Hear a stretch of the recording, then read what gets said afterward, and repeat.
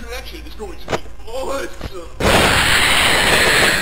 I mean, like, you already had some experience after being there for nearly a week, you know? Um, after tomorrow, we should be able to leave this place behind, you know? And start focus on actually building the attraction itself! Dude, this is gonna be sick! Um, you know, probably...